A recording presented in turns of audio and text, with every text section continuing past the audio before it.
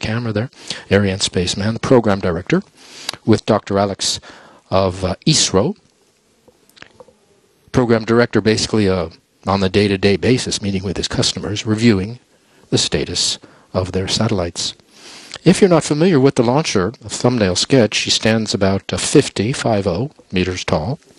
She's in uh, two halves. They call them composites here. There's a lower and an upper. The lower composite consisting of the main stage and uh, the two boosters on either side. You can see that they both stand 30 to 31 uh, meters tall. And then the upper stage, the upper composite, consisting of the upper stage and the vehicle equipment bay where the computer computers are, the uh, launcher's brains and the navigation systems and the guidance systems. And at the very top, the fairing, which you can see there with the logos. And inside the fairing are the two satellites. Two minutes until launch now. We're going to zoom in on the uh, upper stage. You see the yellow bars going across the center there. We're going to get a close-up of those in just a minute. These are the cryogenic feeder arms, the propellant feeder arms going into the upper stage. There's a split screen image of it. Liquid hydrogen on the left, liquid oxygen on the right. That's the cryogenic fuel, the mix of those. Why do we do this? The upper stage needs to be refilled up until the very last minute because the cold propellant which we're using, and by cold I mean liquid oxygen minus 160 degrees, liquid hydrogen minus 240 degrees, that's cold, that uh, in this heat, you can imagine, needs constant topping up. Those of you here tonight in French Guiana, or if you have been here, you know how hot it can be here, constantly evaporates in this heat, so we top up right until five seconds before liftoff. You can see on the back of the screen the invited guests uh, going to go out on the terraces on either side here and watch the liftoff. The DDO again will call out the one minute mark, and we'll be Top. into the H0 moins une minute. And we're into the final 60 seconds uh, before liftoff. Ariane getting ready. Now here's what to watch for with the ignition sequence. You'll hear the DDO call out the 10, 9, 8, 10, 9, 8, and when he gets to 5, which is sank, watch those yellow bars at the center there. They have to pull back. Those cryogenic arms will swing back, and that gets the whole thing started. At 0, the DDO will call out allumage, in French means ignition, and the main engine will light, but we don't lift off yet. Count to 7. For 7 full seconds, the computers are checking out the performance in the main engine while it's still burning on the pad.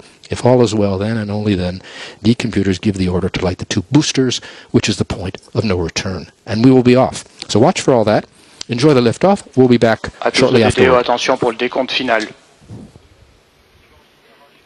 10, 9, 8, 7, 6, 5, 4, 3, 2, 1, top.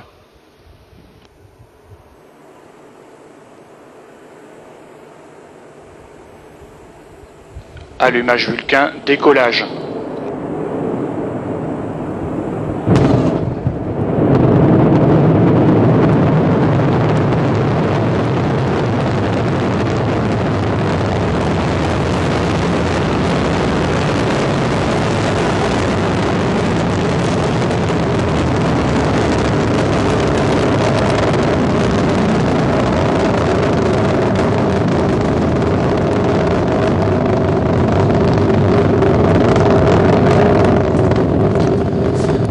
Much, much better visibility than we dared hope for just uh, maybe even an hour ago. It's been uh, raining and overcast most of the day, but some fine, fine shots at liftoff of Ariane roaring off the pad into the gray, trailing the gold plumes as she makes her way up into the sky over French Guiana.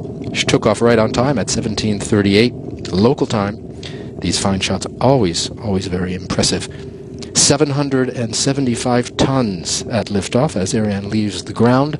Most of that is fuel, as you will see. She'll beginning she'll be, start to shed that. The DDO is saying that everything is fine on board. Right now, she's burning five tons of fuel per second, 2.5 tons in each booster burning. Uh, that represents the major part of the boost. It's uh, 90% of the acceleration and the power at liftoff.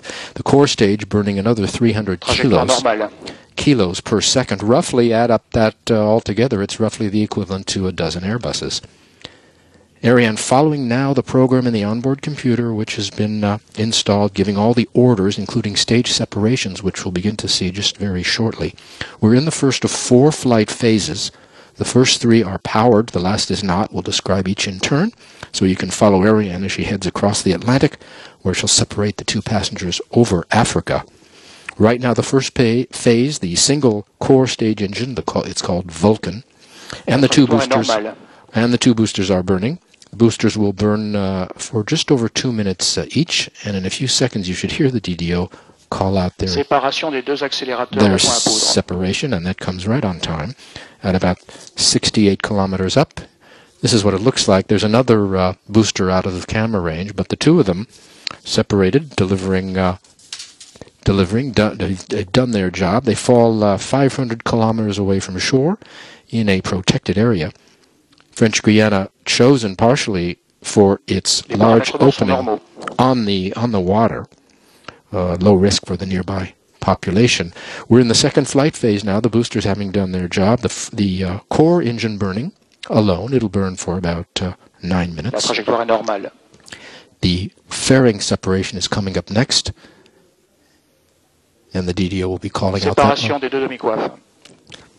And there it is at 107 roughly kilometers.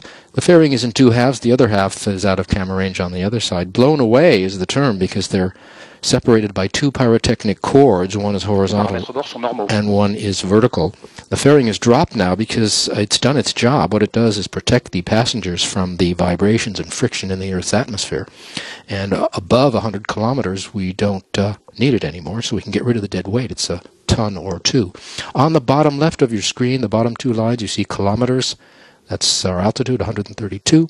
And the speed below that, kilometers per second. We're approaching two and a half kilometers per second. The speed we need to inject satellites, roughly nine kilometers per second. So keep your eyes on that. Back with more of the mission. Don't go away. But for right now, the latest news from Arianespace. On April 22nd, Ariane successfully lifted two new satellites into orbit, Yahsat Y1A for the United Arab Emirates and Intelsat New Dawn for Africa. It was a record for total mass at liftoff for the European launcher, 10 tons.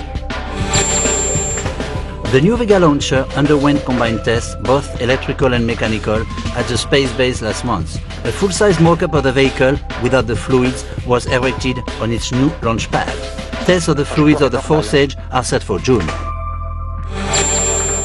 On April 27th, Arianespace signed to launch ABS-2 for Asia Broadcast Satellite. Weighing over 6 tons, ABS-2 will be lifted in 2013. At the European Union Japan Business Roundtable in Rome last month, Jean-Yves Le Gall spoke to 50 decision makers on the importance of reducing barriers to European and Japanese exchange. The beginning of May saw the dry run activities for Soyuz. The launcher rolled out to its new pad and two different countdowns were simulated. These activities tested and validated all the procedures necessary for its upcoming maiden launch from French Guiana. The Russian and European launch teams are now ready for the first Soyuz launch campaign, which will carry the first two satellites of the Galileo constellation for the European Space Agency. In a symbolic gesture on May 7th, Jean-Jacques Dordain, ESA's Director General, handed the keys to the Soyuz launch facilities to Jean-Yves Le Gall. Present were CNES President Yannick d'Escatha and Vladimir Popovkin, Directors of Roscosmos. Jean-Yves Le Gall and Antonio Fabrizi, ESA's Director of Launchers, recently signed two contracts for the maintenance of Ariane 5, strengthening ties between ESA and Ariane Space and reaffirming member states' contributions. Very, very busy period here at the space base, as you saw, which began a month ago in mid-April with the Vega testing and then the Flight uh, 201 launch, and then in April, on April 22nd, then the Soyuz dry run, and then capping that very busy period by tonight's uh, launch, all happening at the CSG here, the world's only dedicated commercial space base, and Arianespace running the launcher family. With Soyuz coming up now, here's a word from the new head of Roscosmos. Five years in the making, the new launch site for Soyuz is now a reality. Here, the first Soyuz vehicle will lift off from French Guiana in the final quarter of this year. Bringing the famous Russian launcher to Europe's spaceport is a logical continuation of a collaboration that goes back a long way. So, um, more generally speaking, we can say that this is a fine example of cooperation between Russia and France. Many European countries have been involved in this project as well. And this is quite a significant project. More Russian personnel have been arriving over the past few weeks. These launch teams have come from Baikonur to carry out the necessary final qualifications of the facilities. At the end of the project, I think that relations between Russia, Cosmos, CNES, the European space agencies will have kicked into high gear, but we are in the launch process and not there yet. Therefore, we must prove that we're able to build a launch pad for Soyuz in French Guiana, but also that we're also able to do business in a field as complex as that of space technology.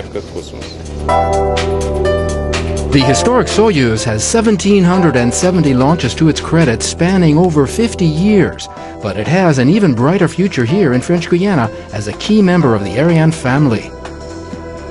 Today is a very important day for Ariane Space because we are going to start the exploitation of the Soyuz in French Guiana launch system. And this will give us a very competitive advantage because we will have the capability to launch all the satellites of all our customers. Today Ariane 5 is the king of this market, but Ariane 5 is devoted to the launch of big satellites and with Soyuz we will be able to launch all the medium-sized satellites on every orbit and this will give us a very competitive advantage allowing us to stay the leader in this market for many years.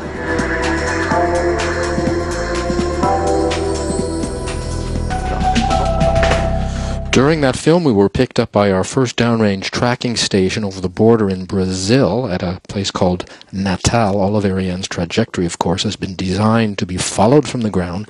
The launcher is sending back radar and telemetry uh, to a network of stations. There are five of them downrange, which, of course, keep constant watch on the health of Ariane's vital systems.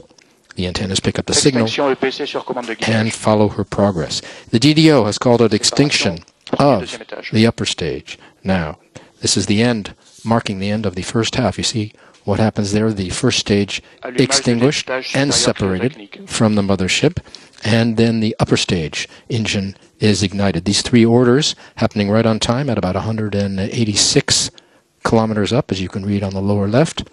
And uh, these these uh, three orders are given by the onboard computer all in a period of about uh, 12 or 13 seconds. We're in the third flight phase. Upper stage will burn for